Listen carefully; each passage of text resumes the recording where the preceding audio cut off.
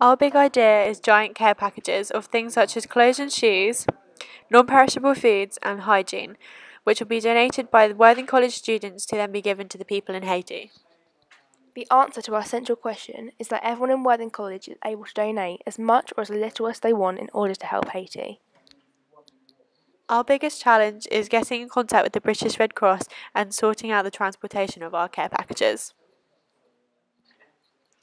This is important to us and Worthing College students as it provides a good opportunity for the whole college to get involved and make a real difference to the people of Haiti.